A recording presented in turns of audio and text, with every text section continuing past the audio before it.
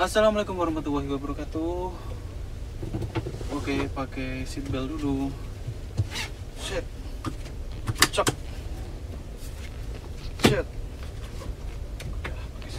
Oke. Oke guys, kali ini kita akan belajar parkir mundur pada sebuah lahan ya.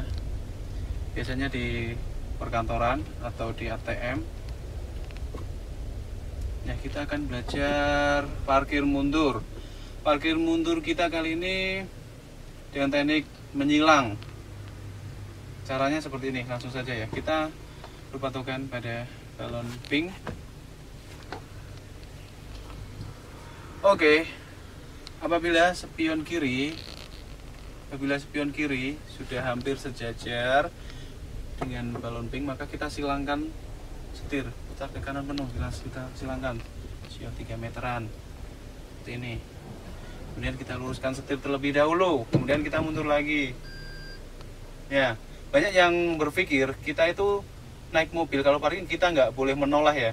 Sebenarnya menoleh itu nggak haram guys. Cuma memang berbeda-beda versi ya. Karena saya kalau menggunakan spion tengah ini mata saya agak masalah sedikit. Makanya saya daripada baret biasanya saya menoleh menolehkan kepala seperti ini. Atau bisa juga melalui spion kiri. Terserah teman-teman mau pakai yang mana. Kita mundur terlebih dahulu. Oke kita coba pakai patuan spion kiri.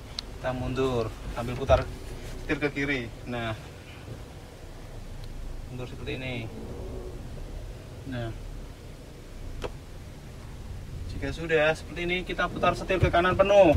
Sambil masukkan gigi satu kita maju ya. Kita putar setir ke kanan penuh kita seperti ini.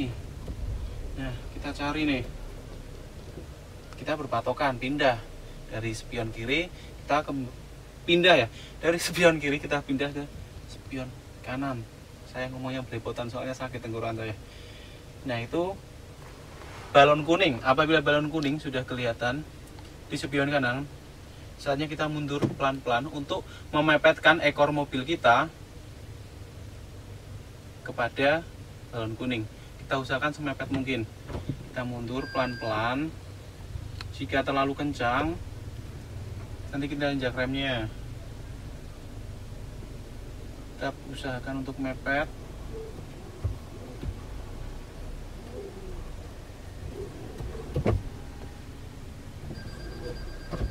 Seperti ini.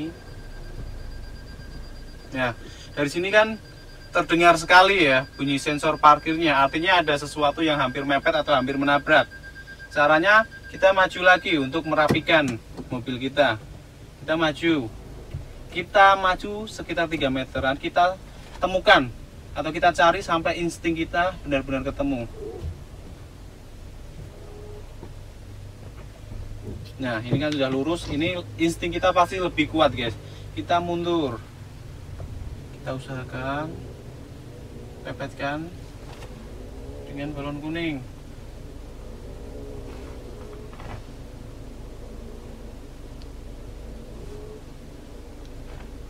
Seperti ini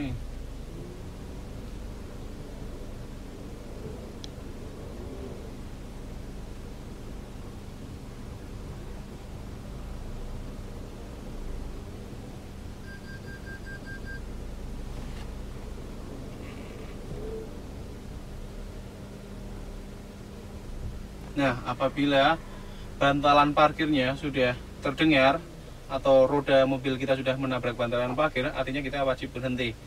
Nah, dari sini saya yakin ini sudah lurus, sudah rapi. Kita coba keluar untuk melihatnya, guys.